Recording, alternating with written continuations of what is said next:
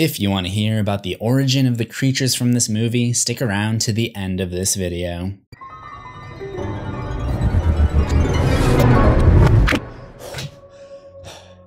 Okay, I don't think they can hear us here. I just ran up to the surface to grab as many things you missed as I could from the new movie A Quiet Place. I'm gonna try to tell you all of them and answer some of your questions from the film. As someone who has done sound professionally, it should be a lot of fun talking about some of the concepts in this movie and why the characters did what they did. But keep it down. They are listening. The beginning of the film offers a lot of clues as to how the creature's takeover went down. We see the Abbott family wander into an abandoned town. Yes, their last name is Abbott. It's only ever shown on the mailbox and in the credits. This is 89 days into the takeover. The town is abandoned, but not completely destroyed. There's a board filled with missing posters, something you've seen a lot of if you watch things you missed regularly. But this is our first clue. It tells us that the takeover happened gradually. It wasn't a massive attack on mankind, it just started as a couple missing people. There isn't really a lot of damage to the town, but we do see a stoplight overturned, which could also be a hint. Later on in the movie, we see the mom go into the basement and turn the string lights from yellow to red. The red lights emit a high pitched sound, which seems to drive the creatures crazy, or at least distract them in some way. So, likely what happened here is the creature struck down the light out of anger or confusion, which happens to be a hint towards what their ultimate weakness is at the end of the movie. So then I found myself asking, how bad is this apocalypse? How many survivors are there? The plot doesn't give us a direct answer, but I was able to scrape together some evidence. And as a quick side note, that's one of the things I liked about the movie. I was thinking recently about the Metroid Prime trilogy, and how unique the storytelling is with how there aren't really any scenes in the games for the most part. But there is still really detailed world building and backstory if you explore all of the world by examining things, reading journals, and drawing your own conclusions. I've come to call this technique indirect storytelling, but I had also come to the conclusion that it wouldn't really work for a movie, but I think A Quiet Place kind of pulls it off. So back to the question, who are the survivors? In the first scene where the dad lights the fire on top of the corn silo, we see a couple of other fires in the distance, which tells me that there are other survivors nearby, but they are few and far between. One of the survivors could be the old man that the father and son encounter in the woods, but I guess he loses hope when the monsters get to his wife and he kills himself by screaming out and letting them get to him. So the number of families near the Abbotts is dwindling, and it's probably good that they don't live near each other anyways for safety's sake. But I think there are other survivors in other places. The most interesting one to me comes from a newspaper headline pinned to the wall in the basement, which reads, Go Underground. Later in the movie, we essentially see that going underground to isolate any noise you might make seems to work pretty well because they're able to speak to each other in the underground nursery. That's why I'm making this video down here.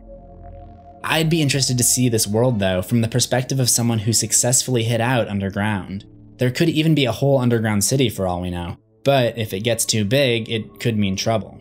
Leave a like on this video if that's a movie you'd like to see in the future. More evidence we have of other survivors is shown in a scene where the dad uses his broadcast equipment to reach out to other countries. We see him cross countries off of a long list, and it doesn't look like he ever made contact with any of them, but that doesn't mean that there aren't other survivors out there. I think there are just other families like the Abbotts, but they probably don't have access to broadcast equipment.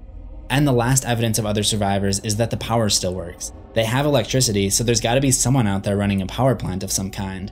A generator wouldn't work because it would make too much noise. And while we're on the topic of what they do to keep the noise level down, I thought I'd explain some of the ones you might not have picked up on. Some of these might be obvious, but I think you'll learn a few things. The best thing you can do to reduce unwanted sound is to soften the point of impact, which slows down the impact and reduces both volume and reverberation. If you knock on a hard object, it's obviously going to be louder than if you knock on a soft object. Sound waves work the same way, so when I record these videos, I use these foam sound panels to try to deaden the sound. The Abbotts take this concept and apply it wherever they can. They paste old newspapers up around the nursery, they put empty egg cartons on the furniture. Not only are they soft, but the irregular angles bounce sound waves in different directions and help reduce echo. The mobile above the baby's bed has plush swans, which should also help prevent the baby from crying. I mean, theoretically, of course. The Monopoly pieces they use are soft shapes. The dice appear to be hard, which is why they roll them on a soft blanket. The daughter's room is filled with stuffed dogs, pillows, anything to dampen the sound. Obviously, they can't use a laundry machine, but having a clothesline in front of the house that's always loaded up with clothing is a great idea, especially considering how much of a wide open area they live in. It could be very helpful to dull some of the sounds that escape the house and keep them from getting too far. You probably noticed that they never wear shoes, and a mattress is a perfect door to the bunker because it's literally the most soundproof thing they have. I could go on and on, but I think you get the point. There were only a couple questions I had about their practices, so let's open up a discussion in the comments. Quietly. The first thing I'd noticed was that they have a refrigerator, which makes noise when plugged in. I'm guessing they just have it off all the time and maybe use it as a cooler to slow down the time it takes for food to get warm. My other question was about the fire he starts each night. I would think the crackle of the fire would be loud enough to attract those creatures. Next, I'm going to talk about the origins of these creatures. I'll be looking to answer a few questions like where do they come from? How many are there?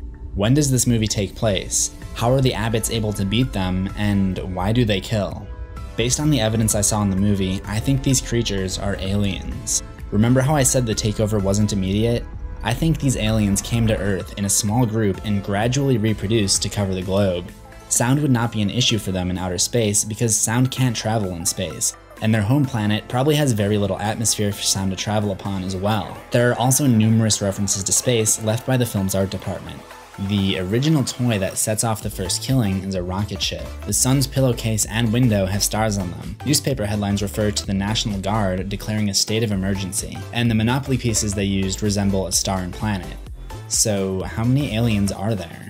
Like I said, they multiply, but the dad identifies that he thinks there are three in the area, and at the end we see that there are more than that, but I think there are actually many, many more than that.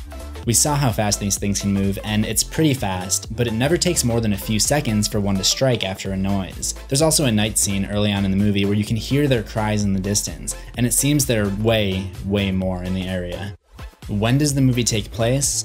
We can actually determine that pretty accurately. The movie starts on day 89 of the invasion.